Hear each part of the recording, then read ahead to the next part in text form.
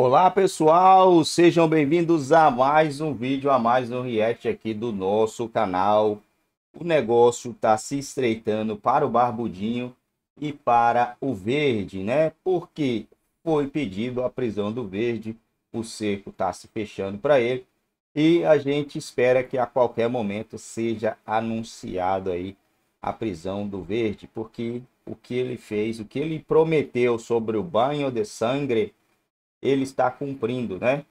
E segundo os stakes, é um crime gravíssimo e pode chegar alguém lá e colocar algema no garoto, levar para os stakes e deixar ele mofando lá por uns 500 anos, né? 500...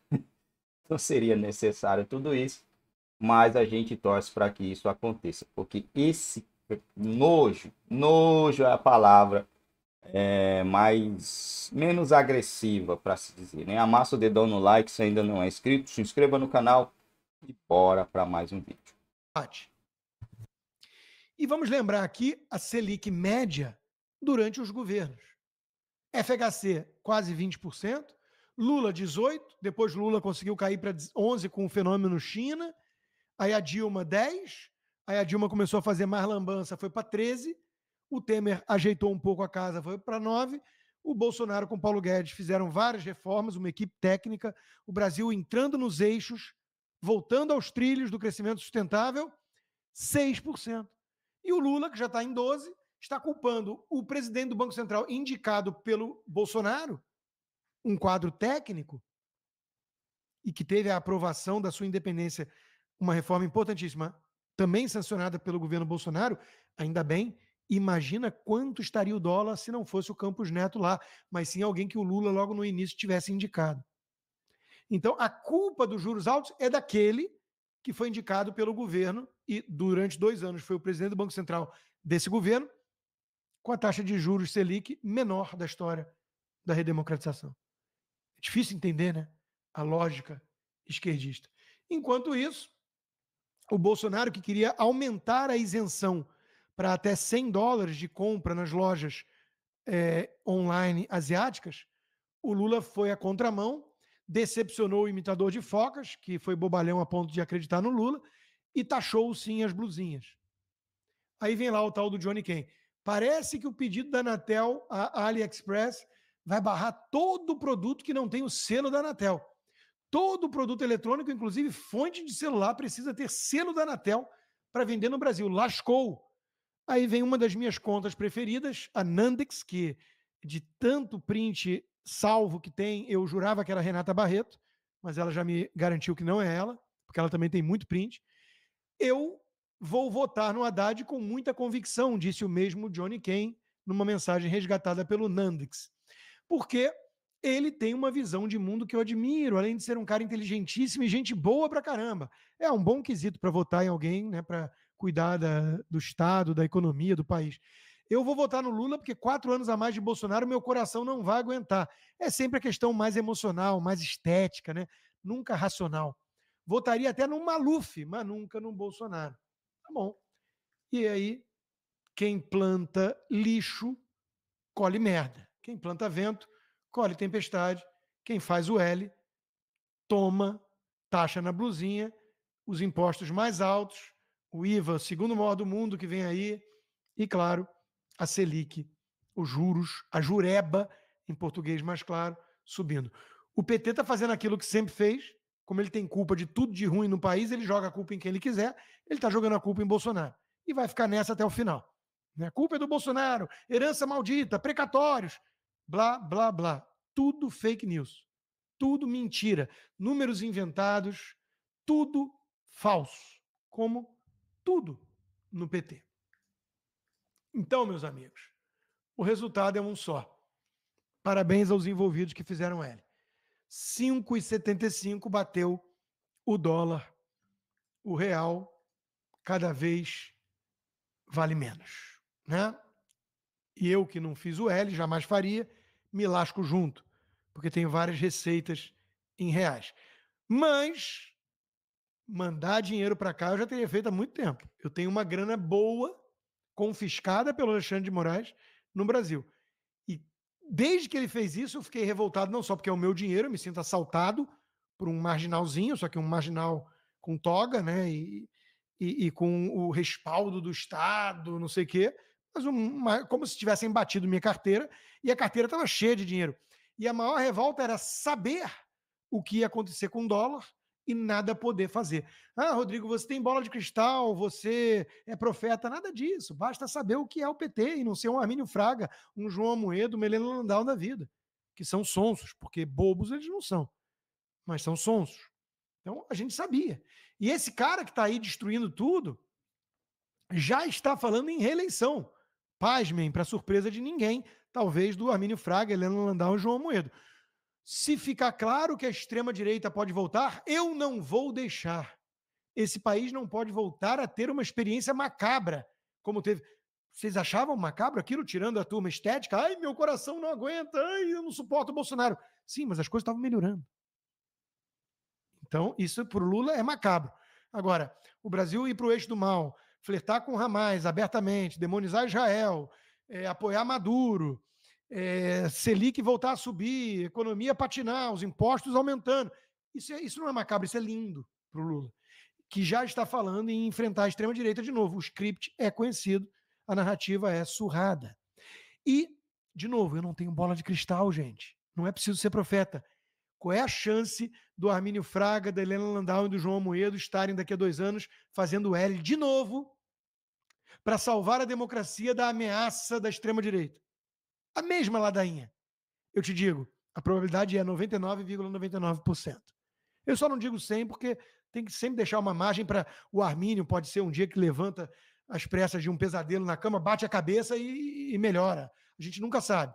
O João Moedo pode, sei lá, levar um, um tranco de repente e a, começar até a apertar a mão com mais firmeza, olhar no olho das pessoas, falar mais grosso e falar: é, chega de Lula, isso não dá. A gente nunca sabe. Milagres acontecem. Então, mas é 99% de chance, ponto 99, do Amoedo falar. É, é, o Lula fez coisas muito ruins, inclusive com a Venezuela. Não foi legal. Os impostos subiram muito. É, mas a ameaça do Tarcísio me assusta. Ele é bolsonarista. Esse pessoal é previsível. Bom, e quantas pessoas mais vão ridicularizar quem fala que existe o risco do Brasil virar a Venezuela. Ainda mais com o Dirceu e o Lula no comando. Ai, isso é coisa de reacionário paranoico. Ai, comunismo da Ibope, não existe. Ai, eu sou muito sofisticado, vou empurrar a história ao lado do Cesare Battisti e do João de Deus. E a Venezuela não tem menor risco do Brasil acontecer o que aconteceu com a Venezuela. É, não vai acontecer porque já aconteceu, né? Eu tenho para mim que um está inspirando o outro, porque há algumas medidas do Maduro que parecem sugestão do TSE barra STF, não parece? Tipo, começar a prender a esmo pessoas na rua, falar que vai ser 15 anos de prisão para quem estiver fazendo manifestação antidemocrática, que não aceita o resultado das eleições, que são invioláveis, disse o Dirceu ou o Barroso. Agora eu já não lembro.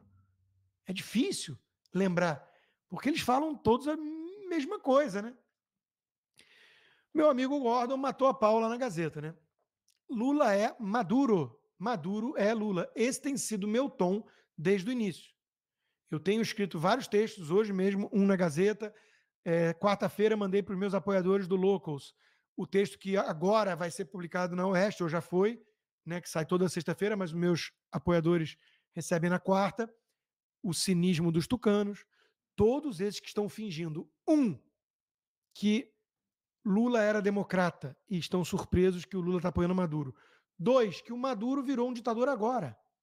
E três, que é um caso isolado e não uma história coerente de uma vida toda em que o Lula sempre bajulou e enalteceu tiranos comunistas.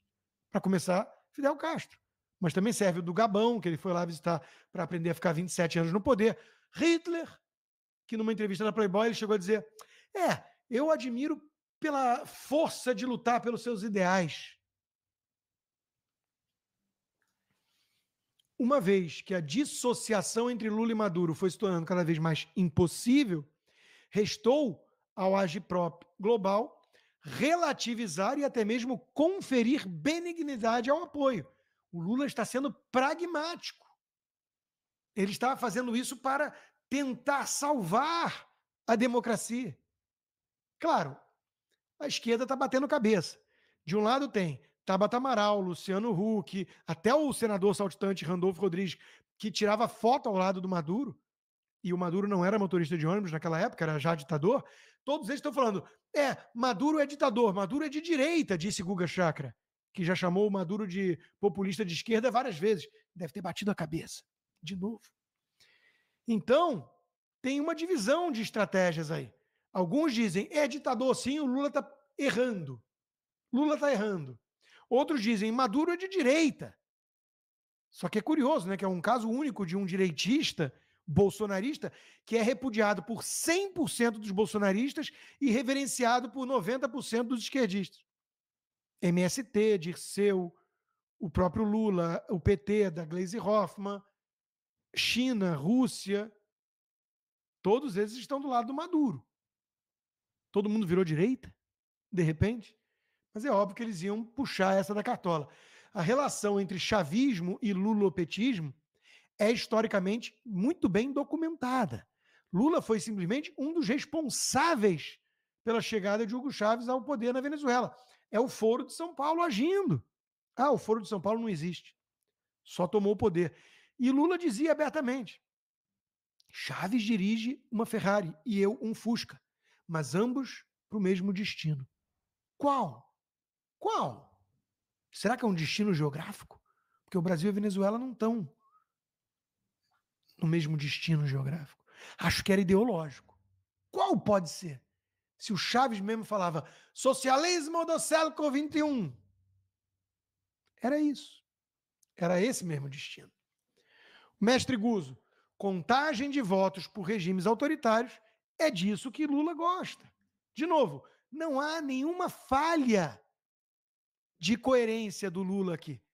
Há um cinismo escancarado de tucanos, de jornalistas, que fingem surpresa com a postura do Lula. Mostrou ser em público o que realmente é debaixo da máscara. Um membro de carteirinha do bando de países malfeitores que só admite a tirania como método de ação política. O Brasil está oficialmente no eixo do mal. Olha o senador saltitante, que está dizendo que o Maduro é de direita, é um bolsonarista. Vai ver que ele também virou bolsonarista. Todos somos bolsonaristas, pelo visto. Luciano Huck, Tabata Amaral, todo mundo bolsonarista, de repente. Claro que isso é um teatro mequetrefe. Olha o Reinaldo Azevedo. Já deixei claro o que penso aqui. TV é, é, afirmar, no, afirmar como faz a direita golpista, que ronca e fuça, que Lula nunca foi um democrata, é coisa de delinquente. Olha a conta do Nandex, puxando do passado, e esse blog na Veja, que o Reinaldo Azevedo deve implorar para a Veja pagar, né? É uma fonte inesgotável de refutação ao próprio Reinaldo Azevedo. Né? Lula tem é ódio à democracia. Seu mundo é o, a troca de favores, toma lá da cá, relações viciosas. Lula deixa claro de novo que odeia a democracia. Reinaldo Azevedo devia ser um delinquente quando escreveu O País dos Petralhas 1 e 2. Eu juro que é tão constrangedor que a gente quase sente pena desse verme.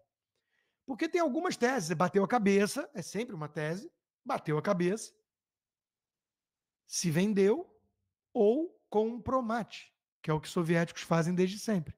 Buscam um dossiê, às vezes o cara em Cuba fazendo coisas que não deve, às vezes o cara assediando menores, às vezes o cara, sei lá, tem alguma prova, e aí o cara apresenta isso para ele e fala: Você vai virar um defensor meu agora. E o cara se sujeita a isso, morre por dentro. Eu acho que o suicídio, nesses casos, são mais perdoáveis até para um cristão do que se transformar dessa maneira. Eu não sei o que aconteceu com o Reinaldo, mas não pode ser muito diferente de uma dessas três opções. E toda a Globo News, né? Globo News a gente imagina qual seja, né? Fale um pouco sobre você. Sou mentiroso, contratado. Se for na Globo News, contratado, né? Para de colocar sua ideologia nas reportagens Não, eles são bolsonaristas, diz o ETzinho, jornalista na redação. Né? Eles precisam avançar com a agenda deles, porque eles não estão nem aí para a realidade. Bom, pessoal, é isso aí, né, meu povo? A taxa Selic teria sido a menor e eu já tinha visto, né, 6%, a menor já vista por mim, pela minha geração aí, geração dos 35, né, 89, geração 89.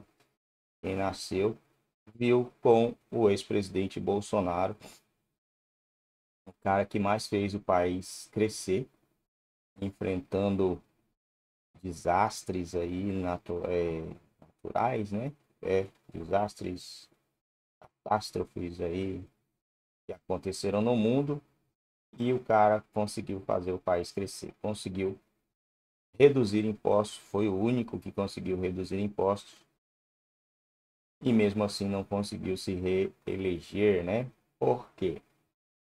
Porque por trás pessoas fazendo cortes, é, induzindo outras pessoas a acreditar em coisas que não existiam, né? Porque ele é grosso, porque ele fala isso, porque ele fala aquilo. Falar por falar, o Barbudinho fala muito mais, né? Não sei o que duro, não sei o que de cor, não sei o que de profissão. Tinha uma menina morena no, no palco, ele falou quem é o. Quem conseguiu. E ela é parente de quem? Tipo, como se ela, para estar, conseguir estar ali em cima, ela tinha que ser parente de alguém, de alguma influência, alguma influência para levar ela até lá e não por méritos, né? Méritos dela. Humilhou a menina sem querer querendo, porque faz parte do caráter, né? Inventou que lá no Rio Grande do Sul as pessoas que mais morreram foram negros.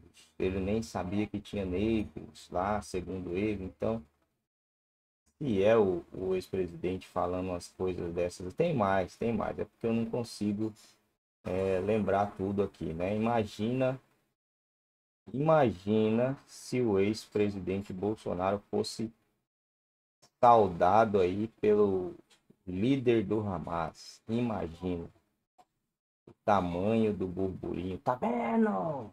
Amigo do ditador, terrorista, não sei o que, nós dizíamos para vocês.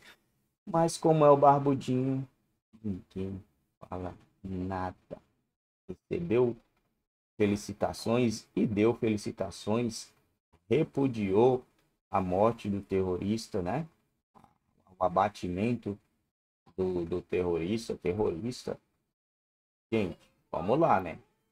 Terrorista, a real, não tem como você converter ele, ele é terrorista. O que, que você faz? Abate ele para que ele não abata.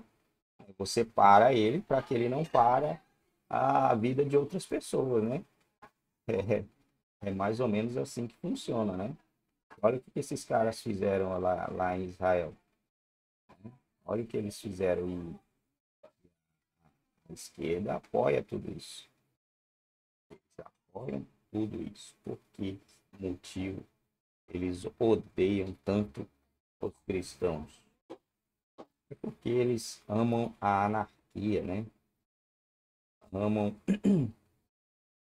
as coisas. Na verdade, não é que eles precisam, né?